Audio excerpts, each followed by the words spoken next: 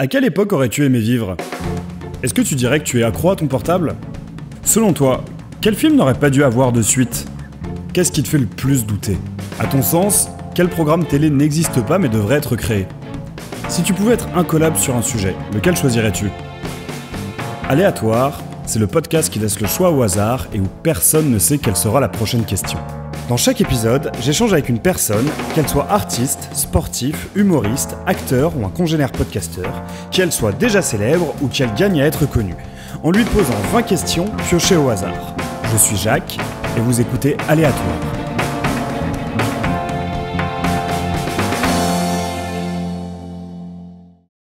Si t'es prêt, on est, on est bon? On est bon. Eh bien, bonjour à toutes et à tous pour un, nouvel euh, épisode d'Aléatoire. Pour le coup, je dis bonjour parce que pour une fois, je n'enregistre pas un moment où il fait nuit. Euh, c'est une bonne chose, j'imagine. Euh, Aujourd'hui, je suis très heureux parce que j'ai la personne que je considère comme étant la personne la plus drôle de France.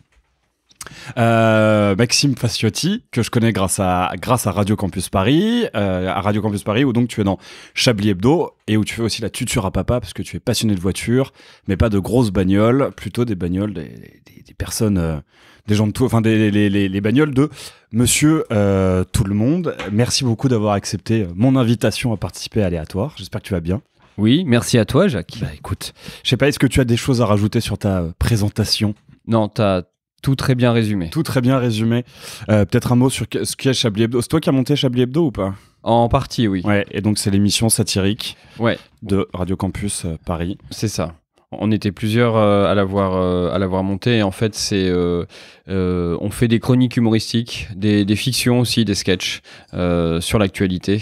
C'est Donc, ça. C'est une émission à vocation humoristique et satirique, exactement. Et vous avez tous le détournement d'un nom de journaliste. Et toi, Ouais. tu es. Moi, je suis Alain Duracel. Parfait. Eh ben écoute, je te propose qu'on commence euh, sans plus tarder à piocher une première question. Alors, que fais-tu pour t'endormir? Eh ben, euh, c'est assez marrant parce que ça fait un mois et demi que j'essaye un nouveau truc pour m'endormir et qui marche parce que j'ai beaucoup de mal à m'endormir et ça depuis très longtemps. Euh, je mets des vidéos de YouTube de bruit, de d'orage et de pluie. Ok. Toi, c'est l'orage et la pluie qui Ouais. te. Ouais, j'ai essayé avec, euh, ouais, j'ai essayé avec des bruits d'autoroute, ça n'a pas très bien marché. Des bruits d'intérieur de voiture, ça n'a pas très bien marché. Euh, des bruits de pluie tout court, ça marchait pas. Bruit orage, oh, c'était bien. Bruit orage tout court, des fois ça me réveillait donc ça allait pas. Et euh, j'ai essayé donc bruit orage euh, et pluie orage pardon et ça marche bien. Très bien, ok. Donc tu, euh, donc tu recommandes euh, le. Ah ouais. Mais il mais, euh, y, a- y a vraiment des, des vidéos de bruit d'intérieur de voiture? Ah bah euh, sur internet il y a tout. Ouais, Évidemment, c'est- mais il y a- c'est- vrai. Il y a des bruits, oui bien sûr, il y a des bruits à l'intérieur de voiture. Il y a des sur sur des heures, ouais ouais. Tu peux choisir ton modèle ou. euh, Je pense que là il faut aller sur des sites plus puristes. Ok, Mais, euh, voilà, t'as- sur- t'as sur- pas Non. l'intérieur d'une Ferrari ou l'intérieur d'une R5. euh, ouais non t'as- t'as- tu peux pas choisir. Ça marche. Une association de nourriture bizarre que tu aimes? Euh... Association de nourriture bizarre que j'aime. Euh... Ah si, ah peut-être. Les Weetabix et le sirop d'érable. Oh, c'est pas. Ça va, ouais, non mais c'est- c'est pas, c'est c'est pas le plus bizarre. Mais j'ai pas de truc vraiment euh, bizarre. Euh, J'avais... euh, Ma sœur, elle mettait du, du, du liégeois chocolat sur du pain. Je trouvais ça bizarre. Ouais, les, les, les petits euh, pots euh, avec du chocolat. Ouais, les, yaourts liégeois, quoi, en fait. Elle- Une fois qu'elle avait mangé à Chantilly, elle mettait le chocolat sur du pain, ça, je trouvais ça bizarre. Ok. Euh, mais moi, j'ai pas tellement de. Je réfléchis, mais non. Je fais des fois des trucs sucrés salés, mais assez classiques, quoi, comme euh, steak haché chèvre miel. Euh, J'aime bien les spaghettis avec la sauce au bleu. Euh, Oui. Ouais, non, j'ai pas de. Non, j'ai pas de. T'as pas de, t'as- Non. t'as pas d'association de Non, non, non. genre euh, Oreo Roquefort ou. euh, Ouais, ah oui, non, ouais, non, non, non, de- pas, ou, Oreo euh, Roquefort, non, non, pas non plus. Petit ou- Lutaraman, non, tout ça, non, non. ou, ou Prince Boursin. euh, Ah non plus, ouais, non, plus, non, non. Ça, j'ai pas. Très classique en cuisine. Ah, ça, ça, ça m'intéresse. Quel élève étais-tu en, à l'école? Oula, euh... oh, j'étais chiant. Enfin, j'étais très sage. À l'école, j'étais très très sage. J'avais pas forcément des bonnes notes. Ouais. Ça dépend où à l'école. Euh, à l'école primaire, je crois que j'avais des bonnes notes. Puis après, collège, lycée, j'étais moyen, voire très moyen. Mais en classe, j'étais très sage. Je participais. Euh, j'étais devant. Ok. Euh, mais pas par feuilletage. C'était, j'avais l'impression de mieux suivre devant que quand j'étais Mhm. derrière. J'ai l'impression qu'il y avait trop d'élèves entre la prof et moi. Ok. Et euh, donc j'étais, euh, j'étais très, ouais non, très sage. Je participais, voilà. Et alors, tu sais pourquoi t'étais t'étais moyen du coup si, Parce que je, parce que je faisais pas mes devoirs, je bossais pas chez moi. Ouais, ok. Je regardais la télé, donc du coup ça me, ça m'emmerdait de faire mes devoirs. Ouais, J'étais à peu près, j'étais à peu près le, le- le même élève aussi, à suivre beaucoup et à pas vouloir bosser à la, à la maison. Et on finit à campus après. Et on finit à campus, ce qui montre que c'est une bonne, une bonne façon de, de- de suivre les cours, euh, une bonne façon. Hein. Alors, tu as 30 minutes de temps libre devant toi. Comment aimes-tu l'occuper? Ça dépend. Si je suis chez moi, euh, comment je l'aime, comment j'aime l'occuper. J'allais dire je fais du ménage, mais j'aime pas faire le ménage, mais c'est juste parce qu'il faut le faire. Euh, Donc, c'est pas du temps libre. donc c'est ouais, donc c'est pas du temps libre. Euh, une demi-heure. oh, alors si j'ai la flemme, je vais regarder des vidéos sur YouTube ou la télé. Ouais. Bien sûr. Quel- alors, du coup, quel type de vidéo sur YouTube? C'est quoi tes. euh, Euh, des vidéos de vieilles pubs pour les voitures. Genre des années 80, 90. Ou mieux, j'ai découvert un truc. C'est des vidéos euh, qui. Euh, alors, c'est des vidéos qui ont retrouvé des VHS qui étaient euh, diffusés à l'intérieur des, des entreprises automobiles pour diffuser des messages à leurs, com- à leurs commerciaux. Enfin, c'était la com interne, quoi. Ah ouais. Des vidéos de com interne. Voilà D'accord. de Citroën, de Peugeot, de, de Renault. Et alors des fois, alors soit des fois c'est un acteur qui dit euh, voici le nouveau modèle. Alors euh, regardez donc vous pouvez ouvrir le capot comme ça et la version euh, machin n'est pas la même que la version bidule parce que voilà. Ou soit il y avait vraiment des espèces de mise en scène, des faux voilà des, des faux des, des des fictions avec des personnages euh, et dans ces fictions bien sûr la voiture euh, a son importance et euh, il y a une mise en scène. Et alors bien sûr c'est c'est souvent mal joué c'est pas crédible et j'aime bien parce que du coup cette pour- et pourtant c'est euh, c'est des gens ordinaires avec des voitures ordinaires donc Oui. tu- t'associes à eux tu tu ouais tu ouais c'est ça t'identifies. tu t'identifies ouais et euh, mais c'est assez rigolo de, de de de te dire que c'est comme si c'était un monde parallèle Ouais. euh, dans lequel les, les rapports ont l'air simples, les choses sont simples, et c'est assez rigolo à voir. C'est bah, le type de vidéos qui sont détournées par message à caractère informatif. Par exemple, Ouais. par exemple. Sauf que là, les, les- les vieilles voitures sont, enfin les vieilles voitures à l'époque, c'est voitures mais elles sont au cœur de trucs. Mais c'est un petit, ouais. ou c'est un peu, le- c'est un peu l'idée. C'est un peu l'idée. Et du coup, ça t'a- ça t'aide de- pour la pour l'écriture euh, ou la, de la voiture à la tuture à papa, ce genre de, de vidéo? Euh, ah oui, ça peut. Ouais. Ouais. ça peut aider pour avoir des infos sur la voiture ou pour, euh, pour me dire bah tiens, je vais parler de ça. Ou, Ouais. euh, ouais, non, si ça T'as peut t'as m'aider. déjà ouais. vu une pub en disant bah tiens, le prochain épisode, ce sera sur ce modèle. euh, Ouais, oui, ça, ça m'est arrivé. ouais. Ouais. Alors. Oula. Alors, si l'argent n'avait aucune importance, que ferais-tu de ta vie? Euh, Quel travail je ferais ou qu'est-ce que je ferais tout court? Qu'est-ce que tu fais? Qu'est-ce que tu, tu interprètes la question comme tu veux Ok. Euh, alors, si l'argent avait pas d'importance, euh, alors je pense que malheureusement, je pourrais vite me glisser sur. je regarde la télé toute la journée ou des vidéos YouTube et rien faire. Euh, ouais, ça, je, forcément. Je passerai plus de temps à Radio Campus. Ouais. Ouais, oui, je- parce que euh, on y- on- les gens à Radio Campus Paris sont bénévoles pour Ouais. la grande majorité. Ouais. Donc j'y passerai plus de temps, je ferai plus de montage, d'écriture euh, sur sur ouais des, des fictions, des séries audio.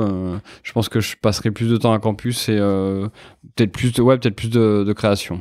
Ok. Pourtant, t'es déjà une des personnes qu'on voit le plus souvent à Radio Campus euh, Oui, Paris. donc, peut-être euh, même trop. Mais Ah non, non, non.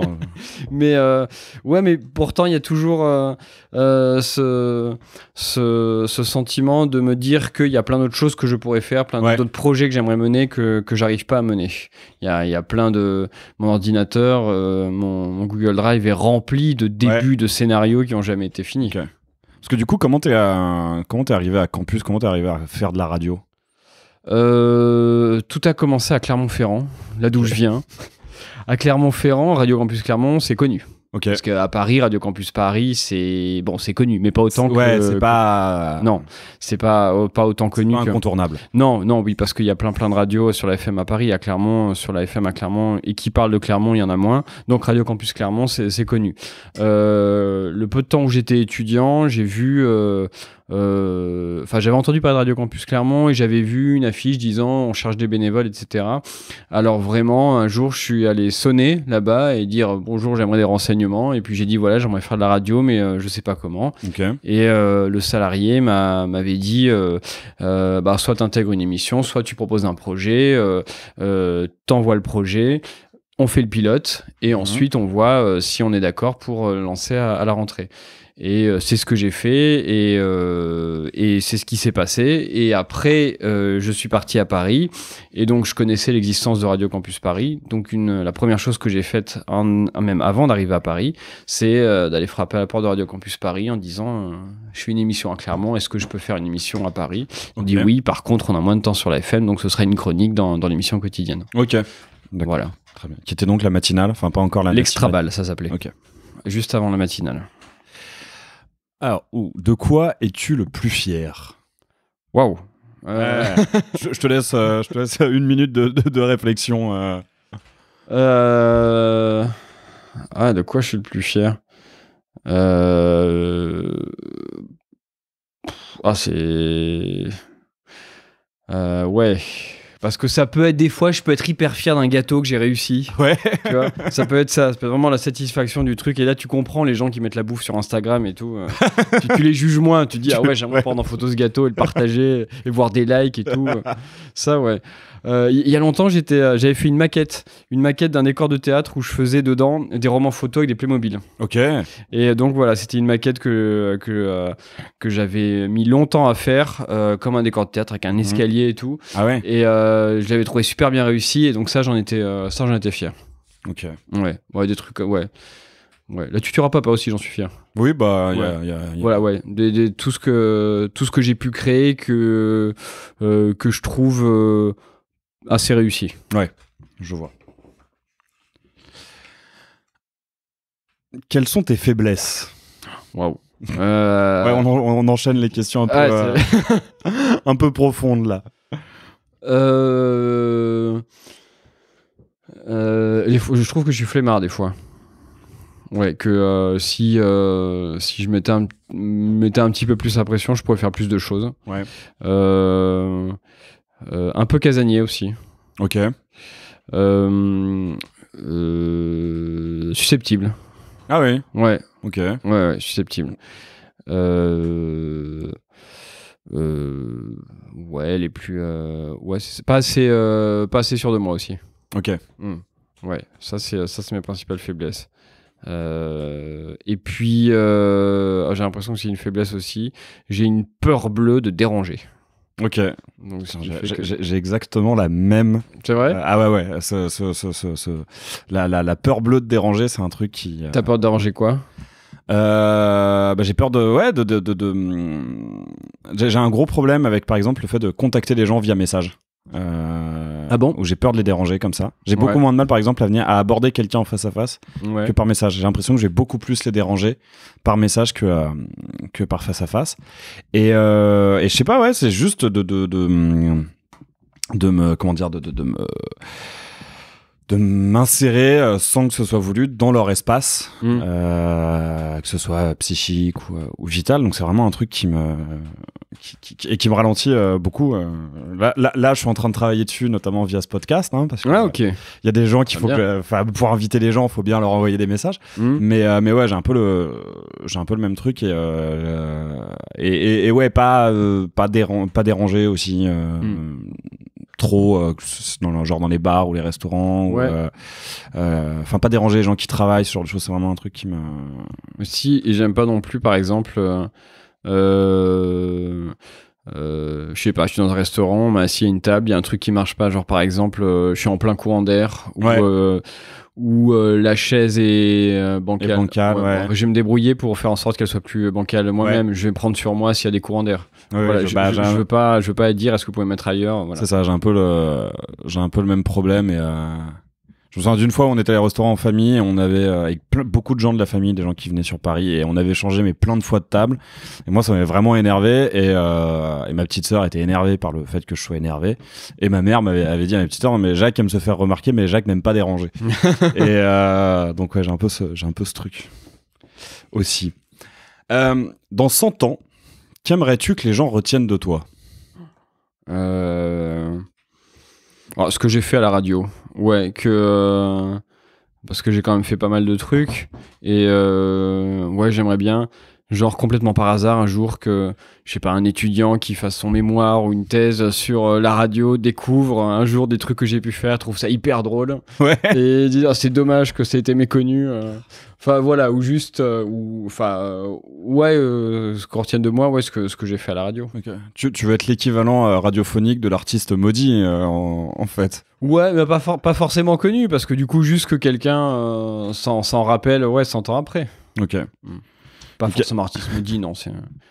Et imagine que tu deviennes la, la source historique pour les vieilles voitures dans 100 ans. euh, Qu'est-ce que ça te ferait? Euh, ouais, ça me va. Ça te va aussi? Ouais, ça- ouais, c'est vrai, ouais, quand toutes les voitures ont disparu. C'est ça. Ouais, bah, et, bah, du coup, je pense que ce serait, ce serait pas trop mal comme source parce que en ce qui concerne les voitures ou l'histoire des voitures, je dis des choses, je dis, dis des choses assez vraies. Oui. ouais. tu l'as dit de façon marrante, mais Ouais. tu. euh, Pas trop chiante, mais ça trop chiante, quand même mais, euh, et tout, et c'est des choses vraies. Ok. Alors, oh, qu'est- qu'est-ce qui te manque dans le fait de ne plus être enfant? Euh, une, une naïveté sur. euh, euh, une naïveté sur des manières de fonctionner. euh, ne pas voir comment les choses fonctionnent. Ça, ça Mhm. me manque. Euh, de, parce que. Euh, quand, quand j'étais petit, euh, enfin quand t'es petit, il y a plein de choses où euh, euh, que tu crois ou alors tu ne te demandes même pas comment c'est possible ou comment ça peut exister ou comment ça fonctionne. Euh, et euh, t'es heureux d'être dans cette ignorance là alors qu'après bah, tu te tortures de questions d'angoisse etc euh, euh, euh, non après alors même pas sur la mort parce que quand j'étais petit je me posais plein de questions sur la mort donc euh, donc ça non mais c'est alors c'est plus des trucs terre à terre du genre euh, je sais pas un truc tout con bah, quand j'étais petit je regardais le club Dorothée Mhm. et pour moi, voilà, le Club Dorothée, c'était l'émission à télé pour enfants et c'était comme ça. Et pour moi, il n'y avait pas de notion de.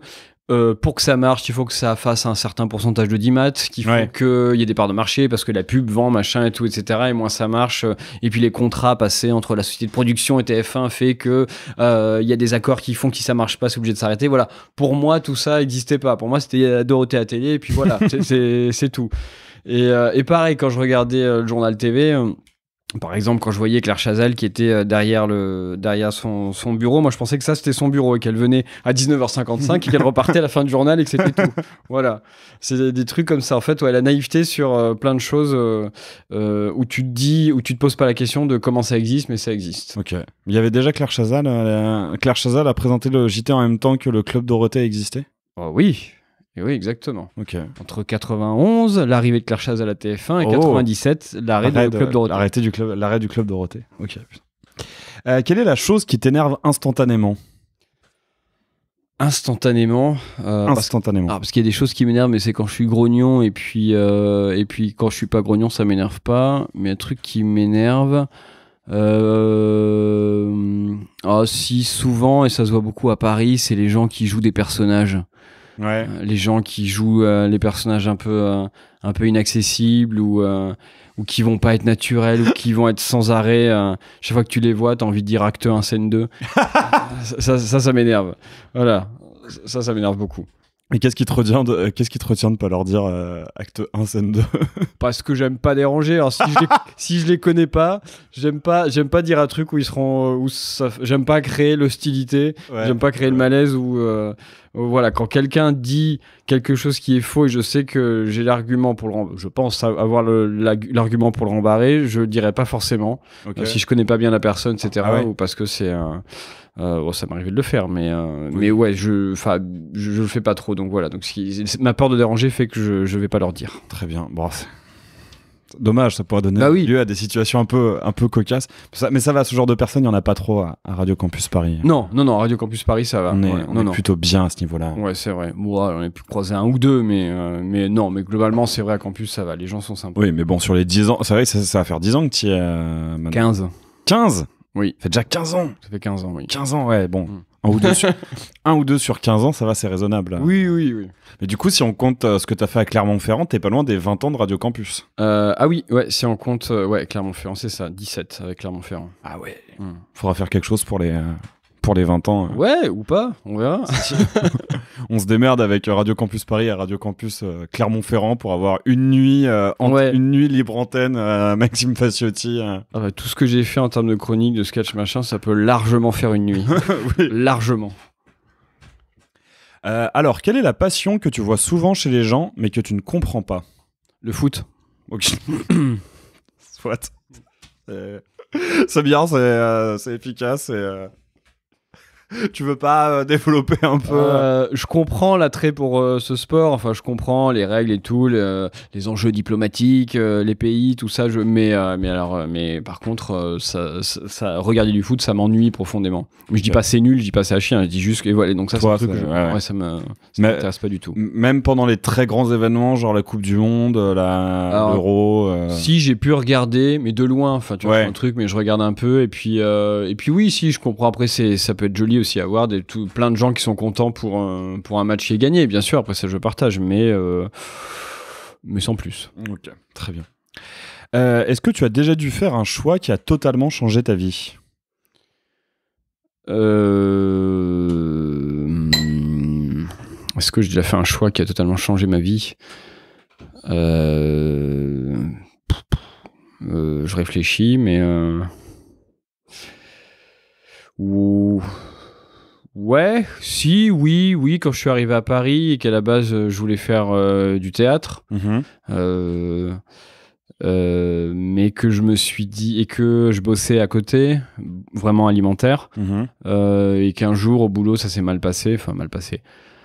Je suis très susceptible, donc j'ai eu une réflexion qui m'a pas plu, et euh, je me suis dit. euh, Parce que c'était quoi comme euh, boulot ali- alimentaire? Oh, il y en a eu plein, mais à ce moment-là précisément, c'était, j'étais vendeur dans un magasin vers Sèvres-Babylone à Paris, un truc un peu chic, une sorte d'habitat mais beaucoup plus chic. Mhm.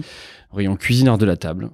J'ai vu plein de gens célèbres là-bas qui Très étaient bien. clients, donc c'était c'est assez rigolo. Et euh, ouais, une fois, j'ai eu une remarque injustifiée de, de mon chef et je me Mhm. suis dit euh, euh, que je risque de galérer comme ça pendant des années à, euh, à essayer de, de percer en tant que comédien et à côté d'avoir des boulots alimentaires où euh, je, je devrais supporter euh, des choses que j'en aurais marre de supporter. Mhm. J'ai dit ça suffit, je vais passer les concours dans la fonction publique. Et donc ce soir-là, quand je suis rentré chez moi, je me suis inscrit euh, à un concours. J'avais oublié quelques mois après, j'ai eu ma convocation, j'y suis allé et puis voilà. Très bien. Ouais, ça, je pense, ça a quand même pas mal changé ma vie. Ouais, bah ouais, c'est quand même une grosse euh, décision qui, qui change, là pour le ouais. qui change pas mal les, les- qui change pas mal les, les- les projets. Euh, S'il n'y avait pas de loi, quelle chose illégale ferais-tu? Euh, Alors, une chose illégale que j'aimerais faire s'il n'y avait pas de loi. Euh... euh, il y a quelque temps, j'aurais dit aller dans un supermarché et bouffer n'importe quoi. Ah, tu vois, dans les rayons gâteaux et ouvrir tout ce que je veux, et puis, et puis les bouffer, et puis jeter, et puis. Enfin voilà, vraiment comme un porc. Euh, faire pareil dans une pâtisserie aussi. Mais vraiment manger euh, un peu euh, comme un enfant, avec, en mettant les doigts dans la crème, en mettant Oui. plein de visages. Enfin voilà, vraiment un truc comme ça. Euh, et puis aller dans des endroits où on n'a pas, ouais, toutes, euh, toutes les, toutes les portes euh, sans issue, toutes les portes ouais. interdites d'y entrer, machin, etc. voilà. C'est très, oui, c'est très juvénile effectivement, Ah oui. comme, comme, comme envie de braver la, la- la- la loi et les interdictions. Ouais, voir tout ce qui, est- voir tout ce qui est interdit. Ouais, ou même aller voir, je sais pas, aller dans les services secrets et puis voir des, des trucs que j'ai envie de regarder, quoi. Dire, ah tiens, ça, ah tiens, voilà. Des trucs comme ça. Ou alors, non, tout, plus bêtement, pouvoir rentrer chez les gens, voir comment c'est fait chez eux. Ok, Ça, ça, Ouais, c'est un peu psychopathe, mais c'est- ça j'aime bien, voilà, voir comment c'est décoré chez eux, comment comment c'est fait, euh, qu'est-ce qu'il y a dans leur frigo et tout. Mais alors justement, vu que tu détestes déranger, est-ce que tu oserais, même si c'était, euh, même s'il y avait aucune loi? Bah, s'il y avait aucune loi, je le ferais quand même quand ils sont pas là. Ok, Ouais, je ferai quand ils sont pas là, mais, euh, mais euh, si justement la loi permettrait de pouvoir fracturer une porte euh, sans que la police arrive, etc., et, ou même la porte serait ouverte, et ben voilà, bien. ça je, je ferai, mais je ferai quand ils seraient pas là. Tu ferais un petit commentaire sur la déco, enfin tu laisserais un petit commentaire sur la décoration. ouais, ouais, ouais, dirais non. Même pas. Je regarderai. Je juste, regarderais. euh, ouais. euh, et du coup, peut-être que tu irais dans le garde-manger pour manger comme Oui un aussi, enfant. bah oui, parce que ça creuse quand même de fouiller chez les gens. Alors du coup, euh, tu fais pas ça gratuitement non plus, hein. pas déconner. Si tu pouvais rajouter une matière enseignée à l'école, euh, laquelle rajouterais-tu? Euh, euh, les bonnes manières, parce que les enfants n'en ont plus. Non, je déconne. non, non. En vrai, une manière enseignée à l'école. Euh... euh, euh, la cuisine, mais pas cuisine, faire la grande cuisine, apprendre à faire à manger. Ok, Parce que euh, ça, c'est un truc j'ai toujours du mal à faire aujourd'hui. ouais. Et donc, si à l'école, il y avait eu des cours, euh, alors même pas de cuisiner, mais d'apprendre à faire à manger euh, pour le quotidien, euh, ouais, ça, c'est un truc que j'aimerais bien, bien rajouter. C'est quelque chose qui existait d'ailleurs à une époque, mais c'était Ouais. mais c'était que pour les, que pour les petites filles. Ouais, voilà, c'est ça. Non, non, là, je parle vraiment de tout le monde, euh, apprendre à faire à manger, et pas euh, la petite fille qui doit ensuite euh, servir le repas de, De, de, de son époux. de son époux. Mm. Bah, comme- un, Comme, oui, comme le tableau chez moi, là. un très beau, ouais, on voit un très beau tableau qui représente, euh, c'est c'est l'incarnation de la famille euh, nucléaire. Ouais, des années 50, mais je- en plus, ça, c'était des images d'illustration dans les écoles. Ok. C'était et voilà ça et le thème c'est la famille et donc on voit ouais une famille euh, dans une salle à manger avec la, la mère qui sert euh, le repas. C'est ça. C'est marrant parce qu'il y a un côté à la fois très américain et en Ouais. même temps il y a des il y a des il y a des choses qui font qu'on sait que c'est en France. Ouais, bah le fromage sur la le table. fromage, la, la tête du pain, la bouteille de vin Oui, rouge. oui c'est vrai ouais. Mais à côté de ça, tu vois, il y a déjà la télévision, euh, Le transistor, ouais. le transistor. L'intérieur est mine de rien assez moderne. Ouais, oui, c'est très, enfin, moderne. euh, bah, c'est très début 60 quoi, ce style ça, de ouais. mobilier, ouais. Très petit Nicolas. Oui. Euh, si tu pouvais réaliser un documentaire, sur quoi porterait-il? Euh, sur Ah, j'aimerais bien alors euh, euh, j'ai pas de qualité de documentariste, mais euh, si je pouvais le faire et si je savais le faire, euh, j'aimerais bien faire un sur euh, les gens qui parlent de leur travail. Comment ça? Bah, c'est-à-dire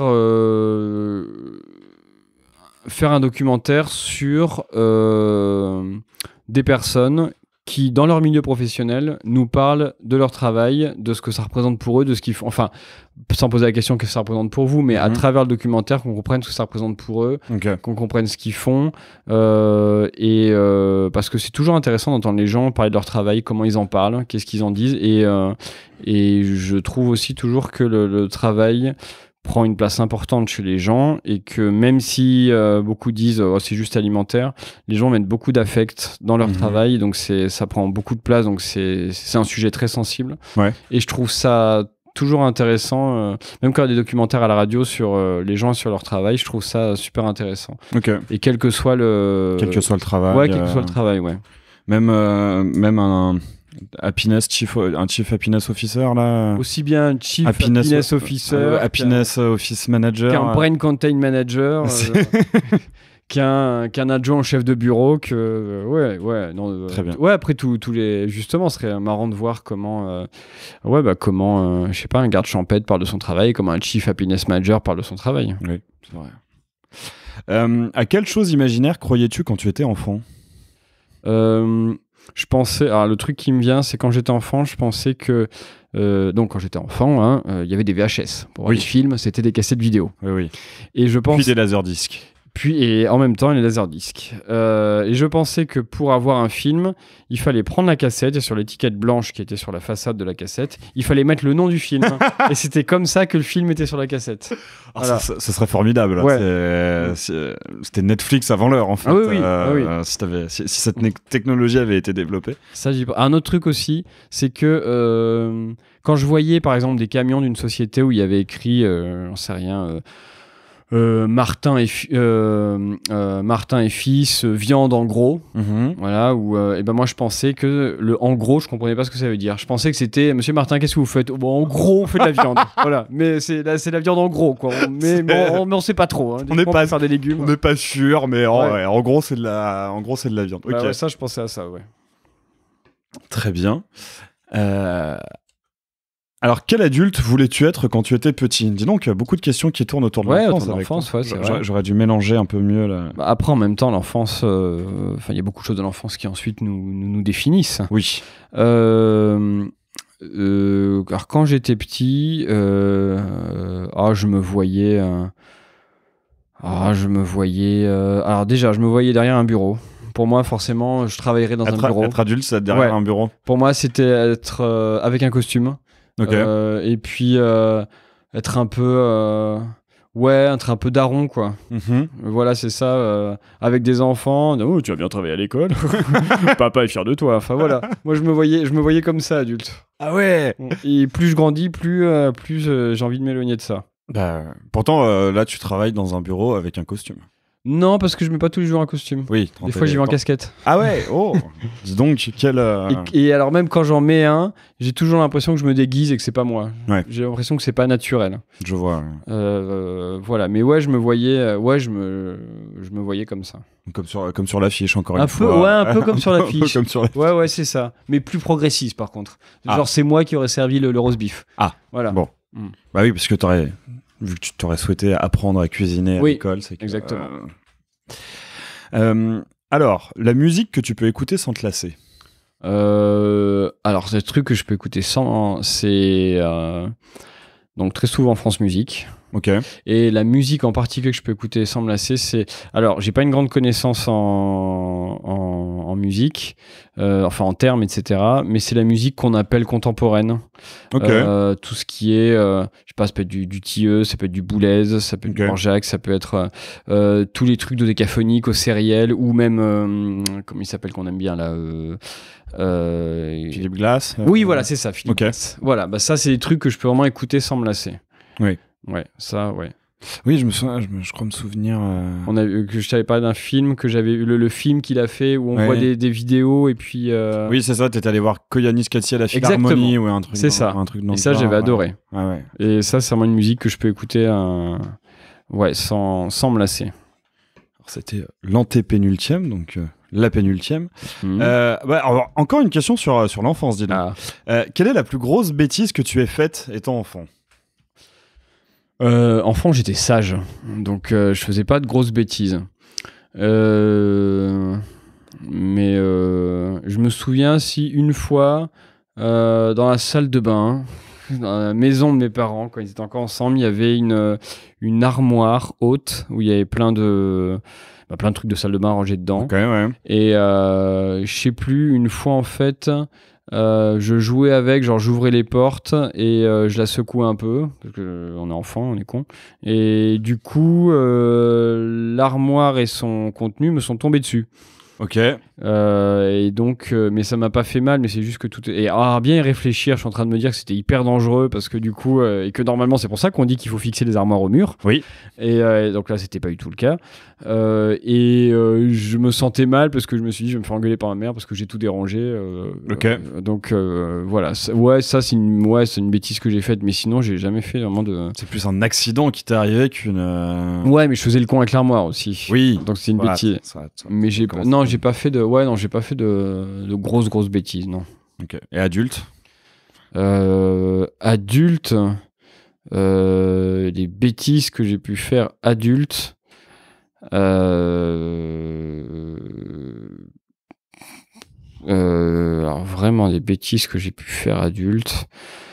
Euh, oh, ça peut être des vraiment des maladresses du genre au boulot, un, truc où j'ai bossé pas longtemps et puis euh, euh, je sais plus, il y avait une collègue qui disait, euh, j'étais jeune, hein, une collègue qui disait, oh j'ai envie de, je pas, de cacahuètes, je sais pas pourquoi. Et puis moi je dis ah moi je sais pourquoi. Et elle dit pourquoi? J'ai dit ah bah, tu le sauras dans 9 mois. Et elle dit ah non je pense pas. Et j'insiste ah bah si. Et une autre collègue me dit non mais elle peut pas avoir d'enfant. Ah, Voilà. d'accord. Ce genre de, de bêtises là, Très, maladresse, très voilà. bien. Ok, oui, Des, des, trucs des- comme ça. des petites maladresses. Ouais, mais j'ai non, jamais fait de même adulte, euh, mais je suis chiant, hein, j'ai pas, je suis pas téméraire et je suis pas, ouais, je fais pas de grosses bêtises. Euh, ça marche. Alors, du coup, la dernière question, Mhm. euh, ce sera As-tu déjà fait un rêve dont tu te rappelles des années plus tard? Ah oui, Oui. ouais, ouais, plein, plein, plein, plein. Euh, en particulier, je me souviens d'un rêve, donc euh, là j'avais, je sais pas, 8 ans, où dans le rêve, alors je sais plus exactement ce qui se passait, mais je me souviens que ça se passait mal. Mhm. Et dans le rêve, je me dis, ah, mais de toute façon, c'est un rêve, je vais me réveiller. Et je me réveille, sauf que je me réveille dans le rêve. Ok. Et donc, euh, je me réveille dans un autre endroit, etc. Je me réveille dans le rêve et je, je continue mon rêve. Ok. Ça, ça je m'en souviens. Mais, euh, ah oui, mais il y a plein de rêves dont je me souviens des années après. Je me, euh, ouais, je me souviens. Euh, être me balader dans une rue, dans une euh, ouais, dans une rue, au bord d'une route, Mhm. euh, et puis me retrouver sous un pont comme les ponts d'autoroute, mais sauf que c'est pas une autoroute, Ok. et qu'il y a un type dans une voiture, je me souviens exactement du modèle, de la marque et de la couleur de la voiture. C'est C'était une Ford Mondeo verte. ça n'a aucune importance, mais bon. Et je vois pas pourquoi, parce que personne autour de moi en avait. Et du coup, euh, et il y a un type qui me saisit la main, qui me saisit, non, le poignet, même très fort, genre pour m'embarquer dans sa voiture. Et, et à ce moment-là, je me suis réveillé euh, tétanisé. Ok. Je me souviens même, alors ça c'était il y a 20 ans, j'étais au lycée, il y avait, euh, j'ai rêvé que j'étais dans un lac. Et en fait, je, euh, le lac euh, très brumeux à Mhm. l'automne et tout, il y a du brouillard, mais je suis dedans. Et euh, je vois une forme qui approche. Et quand je me rends compte que cette forme est un corps qui avance vers moi et qui n'a pas de tête, je crie. Le fait de crier, ça me réveille. D'accord. Très bien. Voilà, donc ouais, non, il y a plein de rêves que je me souviens même des années après. Parfait. Bah écoute, merci beaucoup. Bah du coup, si tu le veux, Merci tu peux toi. piocher trois questions et en Ouais. choisir une à me, à Ok. me poser. Et Ah ouais, il y en a plein. Ah ouais, oui, il y en a un paquet. Alors, une. Je prends la deuxième. Deux pour faire durer le suspense. Et enfin Et trois. enfin trois. De toute façon, c'est un podcast, donc on s'en fout, on peut durer le temps qu'on veut. Oui, Hein oui, oui. Bon, c'est ça l'avantage. Alors, et je donc je choisis. Tu choisis, oui. Je te lis les trois ou je, non, je fais tu- directement Tu, tu- tu- Ok, alors. euh, un, un, un. Ah, alors, bon, il y en a. Il y en a une qui m'intéresserait plus, mais une autre qui, je pense, va plus intéresser ceux qui nous écoutent. Ah, Donc, je vais prendre celle-là la chose la plus folle que tu aies faite par amour. Ah, euh... T'es coupé les cheveux. Non. Non, non, non, non, non, non, non, euh, la chose la plus folle que j'ai faite par amour. Euh... Bah... Euh... Oh là là. Euh... Bah me... Ça dépend si on entend folle dans un sens positif ou dans un sens oh, pas dans, très bonne, dans le sens que tu veux, dans le sens qui euh, t'arrange. Dans un après, j'ai jamais été un grand, euh, enfin quelqu'un qui a qui a fait des grandes choses très romantiques. Euh, me, me remettre avec une ex, euh, Ouais. euh, voilà, Mhm. euh, et avec qui j'aurais pas dû me remettre. Euh, donc c'était un peu fou de, de, de, de, faire ça. Mhm. Surtout que bon, il, il s'était passé, euh, il s'était passé plein de choses, mais il y avait eu de nombreuses trahisons impliquant notamment un très bon ami de l'époque. Donc euh, beaucoup de signes que c'était une très mauvaise idée de me remettre avec elle. Et euh, Des histoires compliquées. je l'ai quand même fait. Et euh, non, et sinon, un truc. euh, un truc positif. euh, ouais, si, je me, euh, je me souviens. C'est quelque chose que je ferais plus aujourd'hui. Parce qu'il y a ça aussi, je trouve que. euh, dans les choses les plus folles euh, qui me viendraient à l'esprit de faire aujourd'hui, il y a beaucoup de choses où je me dirais ouais mais ça fait quand même un peu masculinité toxique qui, qui s'impose et qui impose une présence euh, et ça fait un peu euh, le romantisme qu'on nous a vendu dans des films et tout ça Oui, qui, peut être un peu euh, qui est, Ouais. qui, est- qui est quelque chose que j'essaye de déconstruire et que je trouve un peu euh, qui, qui est pas un super un super exemple.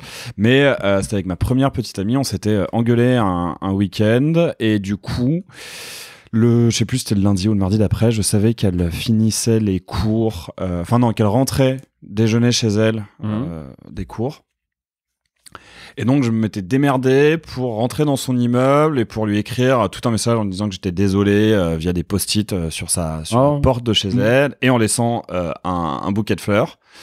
Et, et, et tu vois, je, le- alors, sur le moment, ça lui avait fait super plaisir. On s'était Ouais. réconciliés. euh, vraiment, elle, avait vraiment beaucoup apprécié cette, euh, cette attention. Mais c'est pas, un truc que je referais pas parce que je trouve que c'est très euh, c'est quand même un truc où tu euh, tu, tu, tu rentres beaucoup dans l'intimité de la personne je trouve après, tu l'as pas attendu dans sa penderie, dans sa chambre et sur, ce, sur Non. une en pleine nuit. non non non bien sûr que non mais euh, mais voilà c'est c'est c'est c'est c'est- c'est pas Mais après, oui, je vois ce que tu dis quand tu dis des choses qui nous sont imposées par des films ou des choses même qu'on fait, euh, non pas forcément pour euh, la personne en face, mais pour se, pour se dire qu'on l'a fait, c'est ça ouais pour se voir le, le faire. c'est ça c'est ça c'est un peu euh, c'est un peu ça ouais Mm. et puis non vas-y hein, sinon par amour par amour pour moi-même j'ai commencé à voir une psy Ah, c'est En bien. vrai, depuis un an et demi. Je, pense que ça va être ça. ouais, la chose, la, la- la- vraiment, la, chose la plus folle que j'ai faite par amour, c'est par amour pour moi-même.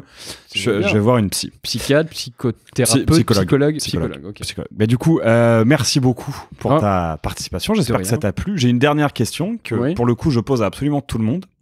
Euh, Est-ce que tu pourrais me donner deux personnes que tu aimerais entendre dans Aléatoire? Donc, une qui te semble euh, accessible, on va dire, et une où vraiment c'est le top du top. Si j'arrive à l'avoir dans l'aléatoire, c'est vraiment que le podcast pèse. Ok. euh, Deux personnes. Ouais. Euh,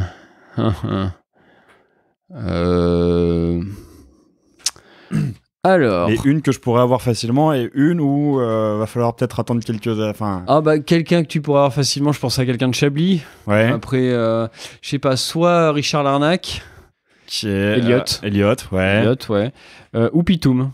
Ouais. Hmm. Un des deux. Un des deux, j'aimerais C'est bien. vrai qu'avec Elliot, ça pourrait être. euh, Avec Elliot, ça peut être drôle, sympa, ouais, ouais. je pense. Ouais, avec Elliot, ça pourrait être drôle. Ouais, ouais. Ok. Et inaccessible. euh, alors, vraiment inaccessible. euh, Jean Castex Ok, d'accord. ouais, je suis pas. T'as pas quelqu'un d'autre en accès, inaccessible? Parce que j'ai pas envie d'avoir de membres du gouvernement. euh, Ok, donc moi. Le podcast n'a pas de volonté. euh, il peut avoir une volonté militante, mais pas politique. Euh, D'accord, ok, donc moins, moins inaccessible. Pas forcément moins inaccessible, moins politique surtout. Moins politique, ok, ok, moins politique, d'accord. Euh... euh, Pourtant, il y a plein de gens, je me dis, ah, tiens, j'aimerais bien savoir Enfin, plus moins sur politique eux. de métier, quoi. Ouais, ouais, non, bien sûr. Euh... euh, oh si, euh, Bertrand Renard. Bertrand Renard. Bertrand- Ah ouais, de, tu vois des lettres. Oui, voilà, c'est ça. De Oh lui ça va en plus je pense que je peux euh, ça peut euh, ça peut ok très Je pense bien que, alors sans, même sans foutage de gueule ni quoi que ce soit, mais je pense que c'est quelqu'un qui a des choses. intér- Enfin, on, Ouais. c'est vrai, on, le- on l'entend jamais interviewer, alors que je sais pas. Je, je serais curieux de- d'en savoir un peu plus sur lui, de le recul qu'il a de, de, de, de sa situation d'homme qui depuis euh, 47 ans fait les chiffres et des lettres tous les jours et voilà savoir comment, Bah, comment écoute, il est vu, si c'est ça, c'est quoi sa vraie vie. Enfin voilà. Ça marche. Ça, eh je ben, intéressant. écoute on va essayer d'avoir euh, Bertrand Renard euh, Bah dans euh, dans le podcast ça peut être une Petit, je regardais les chiffres et des lettres. ça peut être rigolo ok J'ai beaucoup euh, appris à lire avec les chiffres et des lettres. t'as jamais voulu participer? Non, non, non, Non. parce que j'ai trouvé trop fort. Non, non, bah, j'ai Ouais. j'ai la boîte de jeu chiffres et lettres là, elle est dans mon couloir ici, dans, dans l'étagère, que j'avais eu pour, euh, pour, euh, pour Noël pour mes 5 ou 6 ans. ah Je oui la voulais et, euh, et quand j'essayais d'y jouer, je me rendais compte que j'étais pas très fort pour retrouver. les- ah oui mais à 6 ans euh, Ouais, mais même aujourd'hui, quand trouver des lettres et tout, je, trouver des mots à partir de lettres et tout, Ouais, moi, je suis pas, je suis pas pas- très doué. Non, non. Très bien. Eh ben écoute, merci beaucoup euh, pour Merci avoir à ton toi. accueil chez toi et puis euh, pour ta pour ta participation.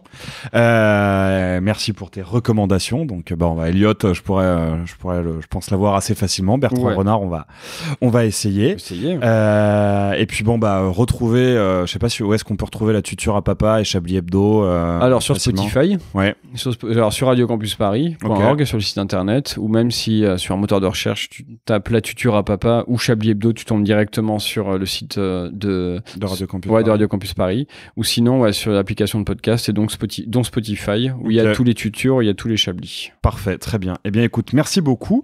Euh, merci à vous aussi de nous avoir euh, écoutés. Puis je vous dis à très vite pour le pour le prochain épisode. À bonne fin de journée en fonction du moment où vous écoutez ce podcast.